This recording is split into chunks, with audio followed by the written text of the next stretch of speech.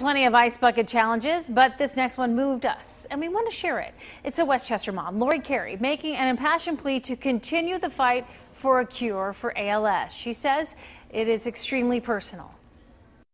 Hi, my name is Lorrie Carey, and I was diagnosed with ALS 10 years ago at the age of 38. Lorrie Carey opens her heart in this video to her disease, her diagnosis, and how her family has been waging a war to get funding for a cure.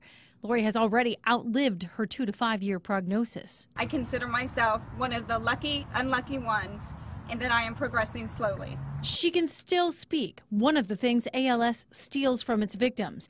Carey and her sons run the kidsforlife.com site. They've raised $500,000 for ALS research in 10 years.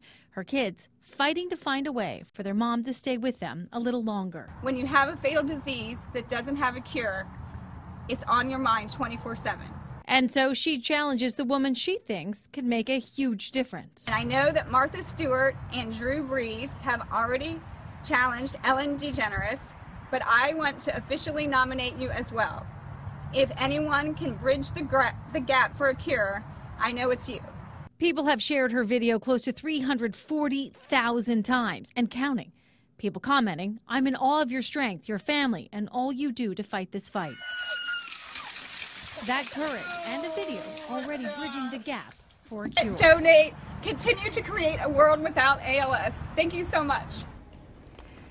So far, Ellen has not taken the Ice Bucket Challenge for ALS. We were unable to reach Lorrie Carey today to see if she has heard from the talk show star. And